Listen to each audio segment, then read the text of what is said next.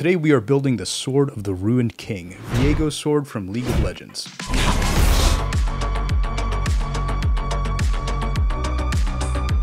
This is a 7 foot tall monster of a prop with full internal lighting. The whole thing glows in this like teal minty color. In my last video we built Magik Sword from Marvel Rivals, and this is kinda like that times 10. If you're interested, that video is on the Hoku Props channel and linked below. So first thing is always reference, and League has a ton of different character art with some pretty huge differences in everything from character page to the cinematics. In my mind, game files are always the best because that's kind of the main touch point for players. So like I feel like this is Viego much more than this is Viego. And those are two totally different swords. So I poked around and found modelviewer.lol, which has, I think, all champions downloadable as PNG you can export, uh, STL, and GLB files. And you can even separate items individually, which is huge. Uh, this is like an insane tool, so I brought that into Blender and started modeling. Now League has pretty low poly models, so I took a lot of artistic liberties with the smaller details and the curves, but here's how it started, and here's how the model looks before we start engineering. Okay, so I have five main goals for this build. One, it should split apart for transport. Two, I want a high density cob LED strip around the entire perimeter facing inwards. Three, we need to avoid seams and infill like the plague since it's gonna block light and it's gonna show through. Four, electronics and batteries have to be internal and hidden. Five, we gotta have a durable metal inner structure. This upper blade I wanted to do entirely on the CR30 PrintMill, so it's just one giant piece. And that's gonna take like two days of printing per side minimum, so everything else is going on the Bambu X1. I want a half inch aluminum pipe going from the very top all the way down past the bottom so it overlaps with another larger pipe in the bottom section. To give us easy access to the inner edge for the LEDs, I'm using a boolean operation to cut this big channel all the way down, and this goes through the entire model. It's basically making like a 0.2 inch gap about an eighth inch from the outer edge. This section was really not cooperating, so I split it right at this corner. In the center here, I'm putting this big cavity where all the wiring can be connected from the batteries below to the wires coming from everywhere else. These spiral pieces are going to be separate and not illuminated, but they will cover up this seam. And finally, we have our bottom hook, and this is where our one inch pipe terminates. I cut out this small square section where the battery holder, uh, the switch, and an adjustable buck converter all fit inside.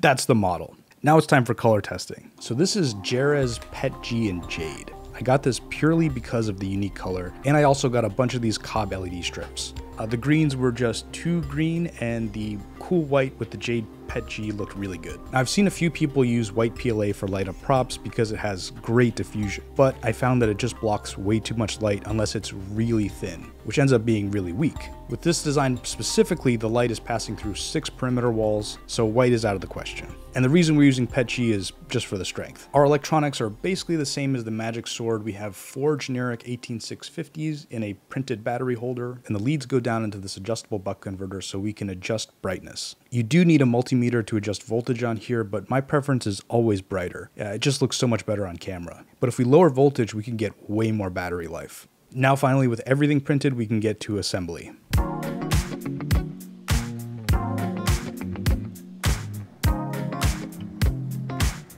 So right here I'm placing down my LEDs on the upper blade and terminating them at the top so the power lines go down through this center support tube.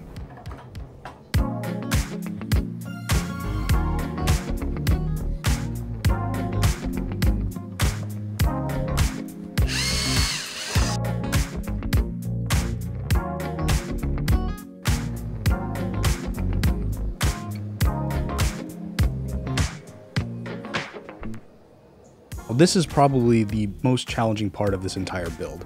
I have to fit these LED strips into these like tight corners with a bunch of random coat hangers and plastic sticks. It's a lot like making a ship in a bottle. But really the hardest part of this is there's some leftover support material deep in these crevices and I ended up taking them out with threaded rod. This little piece so I'm getting ready to glue these two halves together, but I'm really paranoid about having the LED strips damaged during assembly. So all of my solder joints are hot glued down and I'm gonna keep the power on while I clamp this thing together. Now the glue I'm using is a Gorilla heavy duty construction glue and I really don't see many people using this. It has a really thick consistency so it bridges gaps really well, like big gaps. It doesn't shatter in the way that super glue or epoxy sometimes does. And if you get it on your parts, it's a lot easier to clean off. Most importantly, it's clear.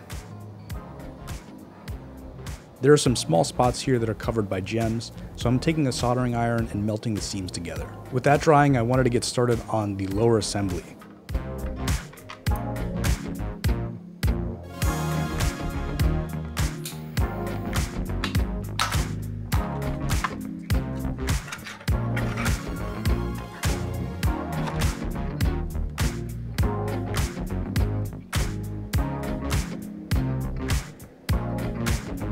So I ran out of this Jara's Jade, so I switched to some Overture Clear PETG and did some color tests. So I found out that a really light coat of Createx Candy 2.0 Tealicious mixed 50-50 with Emerald Green gave me an almost perfect match. So I started using this to build up saturation around the edges instead of shading.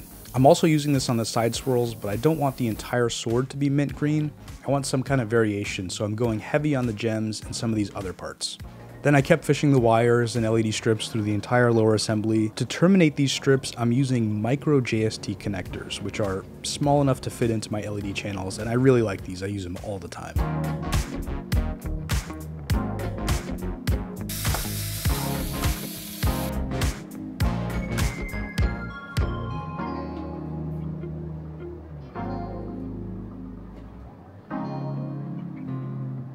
With all that done, I took this over to Hoku Props for a coat of 2K clear.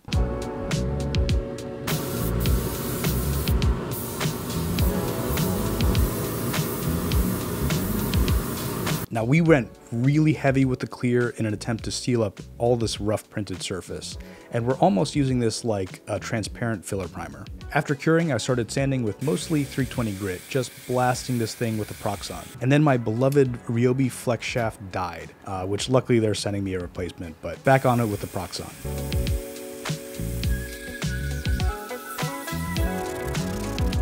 Then I came back for some final shading with the Tealicious green mix around the edges.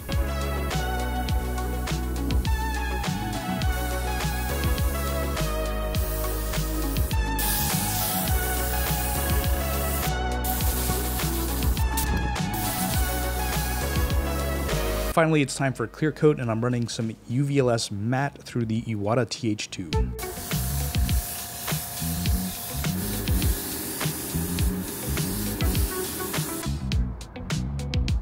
And here are the final gems printed out of Siraya Craft Clear.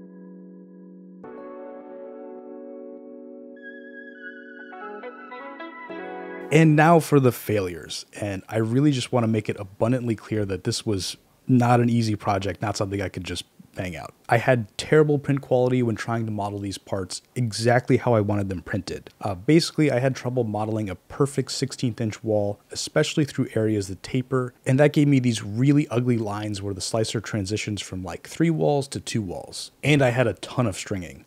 So I was like, maybe I'll just make the solid shape like this and I'll print it kind of like in vase mode and I'll just cut an access port to lay my LEDs down. The major benefit of this is that the light would only have to pass through three walls instead of six walls. This ended up being ridiculously weak. When glued together this might have worked out but ultimately all of this testing is what led me to this profile. So this shape printed three wall vase mode, uh, the print quality was way, way better. Another huge issue is just working with a printer like the CR30. Uh, it's an experimental machine that is both wonderful and highly problematic.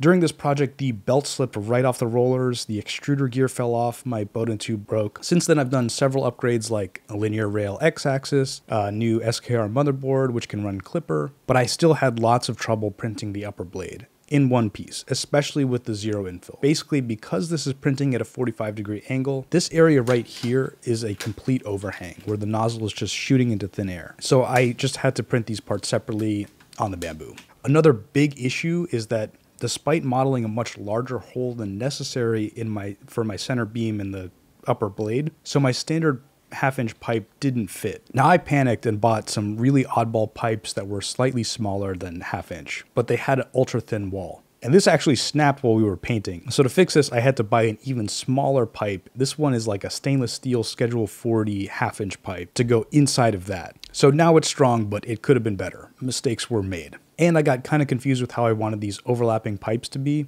which is why there's a weird transition in the middle from a half inch pipe to a much larger gap in the upper blade. At first I wanted the bottom pipe to extend up into the upper blade so that this upper blade is smaller, but in order to get the necessary strength in the upper blade, I had to glue all of this stuff together so the inner pipe and the halves really need to be one piece. The last big issue I had is that these cob strips were a little weak. Fishing these through the sword was actually putting a tremendous amount of stress on the joints.